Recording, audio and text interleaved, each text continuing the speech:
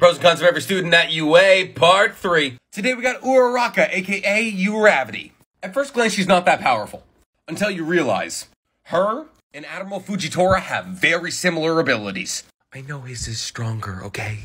Essentially, Uravity is able to control the gravitational pull on certain objects. Except unlike Fujitora, she can only make things lighter. Looking back at it, I should have used the Noki. But she's not limited in what she can make lighter.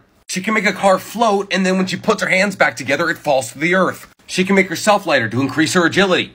She can make people lighter to save them from falling to death. If she really wanted to, she could use her powers like Toga and make a bunch of people float and then make them stop floating.